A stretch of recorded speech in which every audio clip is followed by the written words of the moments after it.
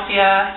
I'm so excited to see everybody again this week when we get to cook our entree using Philadelphia cooking cream, which I'm, I have a great recipe that I just love to go with this. I'm excited once again to be back with part of the Real Women of Philadelphia, and thanks for letting me come back again this week. Welcome to Miss Gail's Kitchen.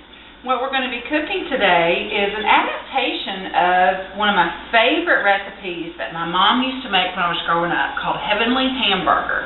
And it is just wonderful. And it's a dish that kids love. Everybody just, it's, it's just a family-friendly, good dish to eat. And what I've done to adapt it a little bit from the way that my mom used to do it is I've tried to make it just a little bit healthier. Instead of using ground beef, I've used some ground turkey. Instead of re- using just regular egg noodles that it calls for, I used some whole wheat egg noodles.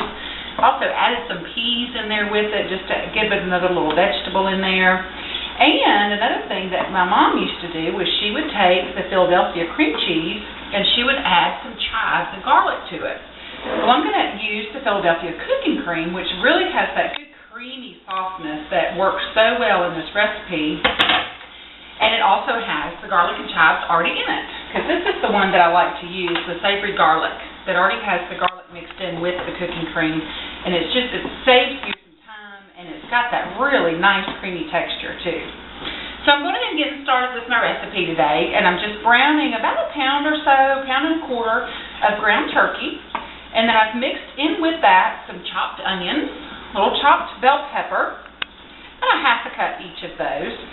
And then I have also added about half of a finely chopped jalapeno pepper, just to give it a little bit of kick and add some spice in there to it.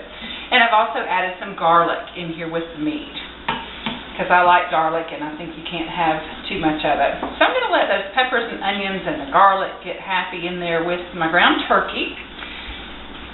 And while that's doing that, I've already boiled my egg noodles. You can use whatever noodle that you like in this, but I like to use the white egg noodles, and again, I have used the whole wheat. And then I've just tossed in with those some, about a half a cup of English peas and just a little bit of butter, just to give that some good texture there. And my green beans and onions and peppers, green peppers and turkey are getting all happy in there. And while that's doing that, I'm just going to add a little bit of salt and pepper in here with these noodles, just to give that a little seasoning.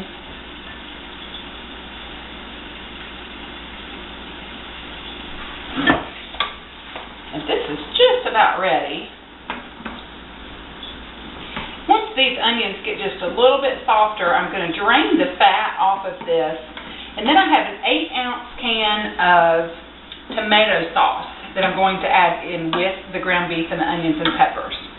In the meanwhile, while that's finished cooking, I'm going to go ahead and start layering. This is going to go in a casserole dish. And I'm just going to put, the first layer is going to be about half of my noodles and peas that I had put together. And then when this beef is finished, we're going to put the next layer, a layer of beef over top of this. And then we're going to layer it with our Philadelphia cream cheese cooking cream. Okay, so my ground turkey and my peppers and onions and garlic are all ready. And now I'm going to take my 8 ounce can of tomato sauce and just stir that in with my beef and let it get good and hot. And I'm going to add a little salt and pepper to that as well, just according to your taste.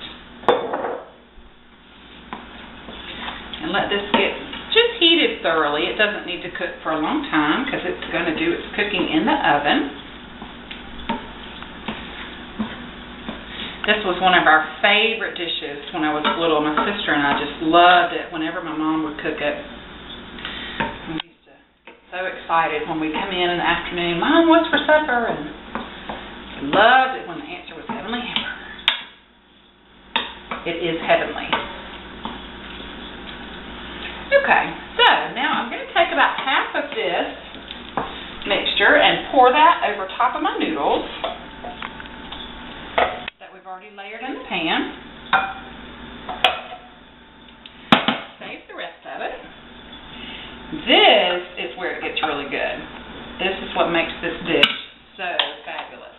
is this Philadelphia cooking cream. And again, I had to use the savory garlic just because it has that flavor. And this cooking cream is just so smooth. You can see how it's just smooth and it's just delicious. And that texture is perfect for what I need in this recipe. And that garlic, oh, I can smell that garlic now.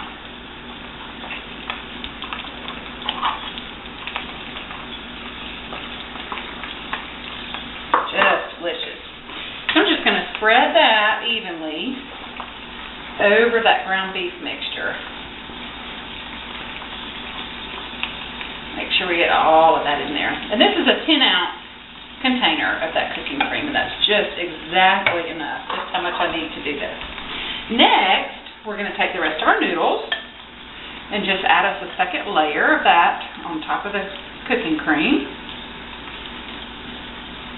You know what I'm going to do with this layer to sort of get mixed in good with that cooking cream. is I'm just going to add a little bit of extra chives in here.